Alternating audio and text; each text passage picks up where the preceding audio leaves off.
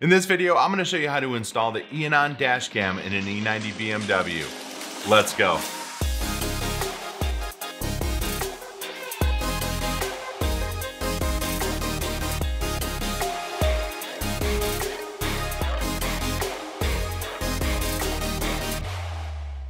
What's up everyone? I'm Steve and you're watching F33. Now if you like this video, give a thumbs up, make sure to subscribe and hit that bell notification so you don't miss when a new video drops.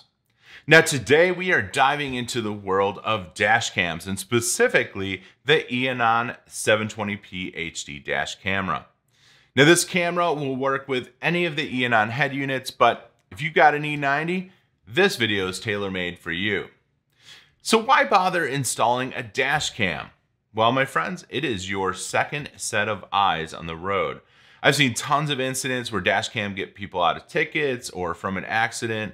I mean, you could also use it to record yourself carving through some switchbacks on an awesome road trip. And if something wild happens, I don't know, let's say a UFO lands on the highway, you have got some awesome footage to post on your socials. All right, now let's unbox this new dash camera. Now the Eonon dash cam comes neatly packaged with all the essentials inside. You'll find the camera itself with mounting tape, a USB cable, and the instructions. Now let's talk about specs. Now this camera's resolution is 720p HD, ensuring crystal clear video recordings. And guess what? It has a 120 degree viewing angle and a 360 degree rotating adjustment. So you will not miss any details on the road. Now this dash cam also has loop recording as well as the ability to lock certain clips and protect them from being overwritten. All right, enough talking. Let's head out to the car and get this Eonon dash cam installed. The tools needed for this install are a trim tool, Phillips screwdriver, pick tool, and a T20. The difficulty for this install is easy. Okay, so to install the dash cam, we're going to install it right by the rearview mirror. So we're going to run the wiring along the headliner, down the A-pillar, and through the dash to the radio. So the first thing that we need to do is remove this A-pillar. So I'm just going to take a trim tool here and see if we can just get this, this cap off.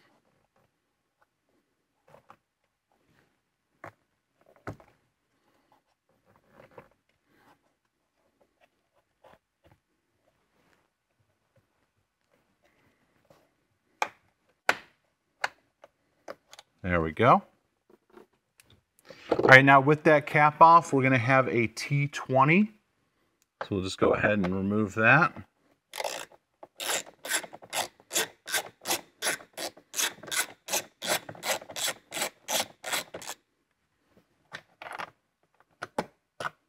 Okay.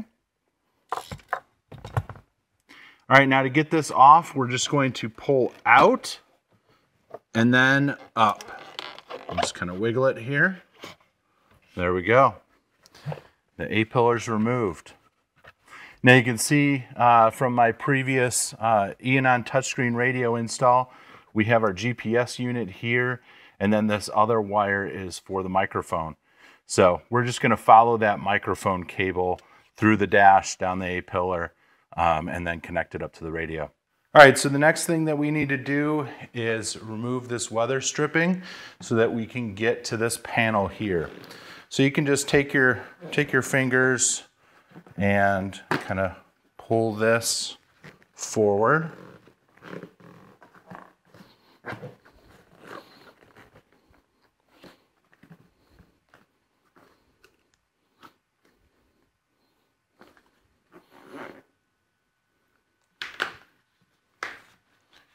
Go.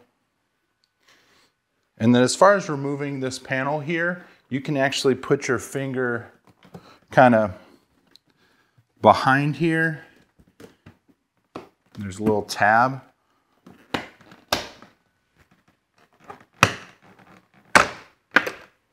And then that'll come off.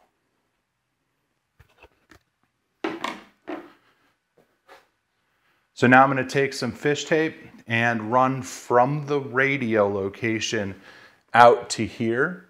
Then I'm gonna we're gonna mount that dash cam, tie the line to it, and then pull it in towards the radio.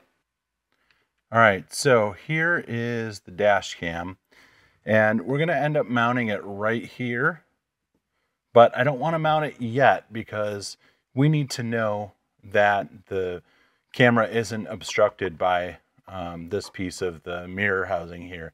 So I don't want to mount it quite yet, but I want to run the cable and make sure that everything's good to go. So we're going to connect the two pieces of this wire. So part of the USB cable we have is right here. And then we're going to connect that to the other end of the cable for the camera. All right, so the way this works is you just kind of put these two pieces together and they're keyed, so you can't put them in the wrong way. There you go, and you're going to hear it click. All right, so now that we have the camera cable connected, I'm just going to just attach the camera here just like this and hang it. And then I'm going to go and just tuck this wire into the headliner. And it's not going to be perfect, but we'll tuck the rest in when it's all finalized. So I'm going to go ahead, run it down there. I'll probably use a zip tie just to keep it neat. And then I have a cable snake there that we'll attach the end to. Okay, so now that I have it run down the A-pillar, I've got it tied to my cable snake. And I'm just gonna pull it on through. All right, so I've unscrewed the radio from the dash. Um, here is the USB cable that goes to the dash cam. And then I'm just gonna take one of the USB plugs from the radio. You're gonna wanna use one of the ones that come out of this uh, cable that has two USB ports, not the one that has one. The one that's singular is for Android Auto and Apple CarPlay, so you're going to want to use uh, one of the two that is part of this uh, first loom where it splits. So we're just going to go ahead and plug this in. There we go. I'm going to shove this back in here. And then temporarily, we're just going to mount this up. We're not going to clean up any of these wires yet, just because we want to make sure that all of this works.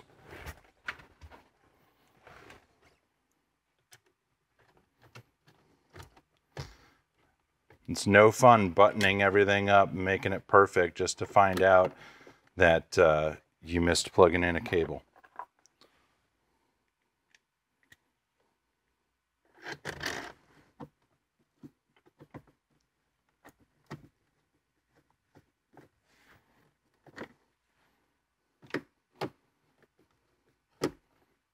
All right.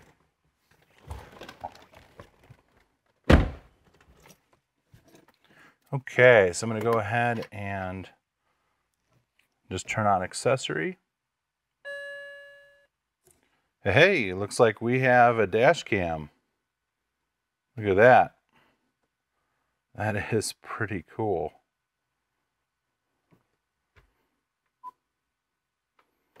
Now, I had originally tested this out, um, just making sure before I recorded the video that everything was good.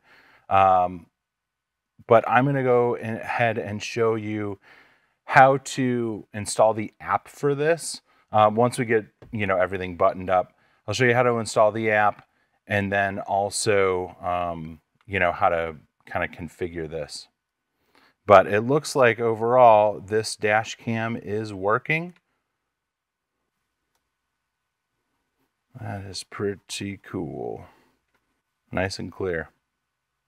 All right, now that we know that it works, I'm gonna go ahead, mount this in a spot up here where it's gonna be out of the way, have good uh, vision to the road, and then I'm just going to tuck this cable into the headliner and then zip tie it down the A-pillar.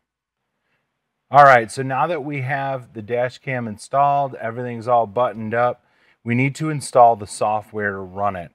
So go ahead and go to your home screen and look for the app called APK Install. All right, then we're going to click Install. And you're going to look for a USB-C memory. Over here on the right-hand side, you'll see UCAR DVR. And when you click it, you'll be asked uh, about personal data. You click Continue, Install,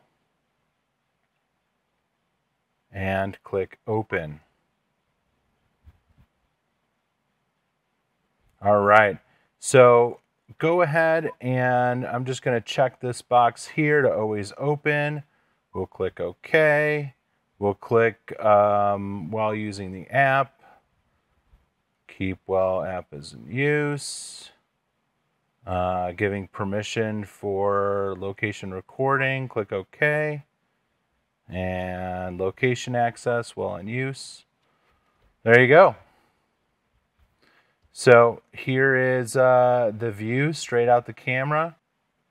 We'll go ahead and click on settings. And I'm not sure what plug and play is, but I'm going to turn that on. And recording, recording time, I'm going to say three minutes. And then you can say audio on or off, time on or off. Um, the device, you can format the card. This just tells you your firmware version. But um, that's that's pretty much it. Now I don't have a card in here, and that's why it says no card. Um, so you can put an SD card up in the top there, and then record to the card. Um, but what's neat is it'll record the time and date uh, and everything for you know, if something happens, and then you can go ahead and save recordings and things. So super easy, really, really cool. Uh, I think this is going to be really cool. Now, as you saw, installing the Eonon dash cam in an E90 is pretty easy, and you should plan to spend about an hour for this install. Now, I love how small this dash cam is. It totally blends in and isn't distracting on the windshield like some other larger dash cams out there. I also think it's awesome how adjustable it is with its 360 degree rotating camera. In my opinion, this Eonon dash cam goes perfectly with any Eonon head unit and is your ticket to safer drives, epic road trips, and maybe even a viral YouTube clip or two. Now, as always, I have put links in the description below to all the products and tools needed for this install. And if you found this video helpful, be sure to hit that like button, smash it if that's what you're into, subscribe if you're not already, and I'll see you on the next one. God bless.